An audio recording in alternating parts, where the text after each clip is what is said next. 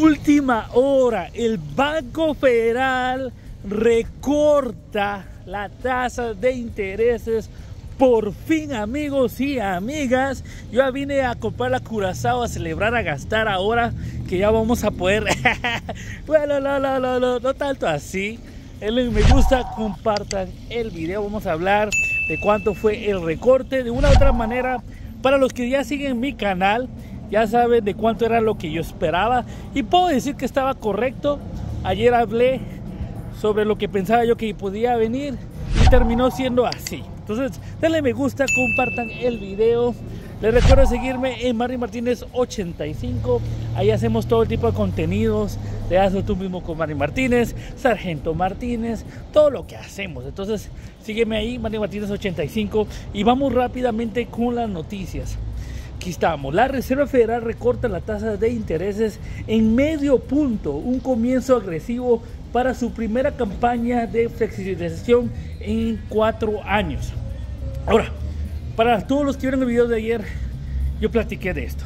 Yo esperaba 50 basis points. ¿Ok? Uno de los motivos era que yo hablaba sobre que estamos acercándonos a elecciones y quiera o no, ni un partido político tiene que ver con lo que es el Banco Federal, ¿ok? Según, pero tampoco ningún partido político va a querer venir y que estemos en recesión antes de las elecciones, sea derecho o izquierda, ¿ok? Ahora, 50 basis points. Ahora, quiero o no, tío Jerome Powell no ha salido, ¿ok?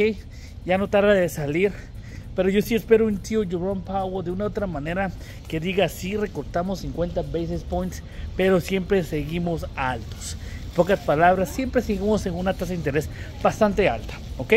Pero ese es el comienzo a estos recortes. Entonces sigamos aquí con las noticias.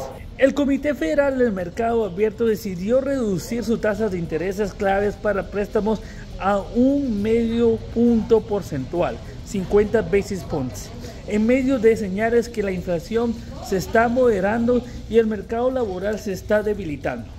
Fue el primer recorte en la tasa de intereses desde los primeros días de la pandemia de COVID.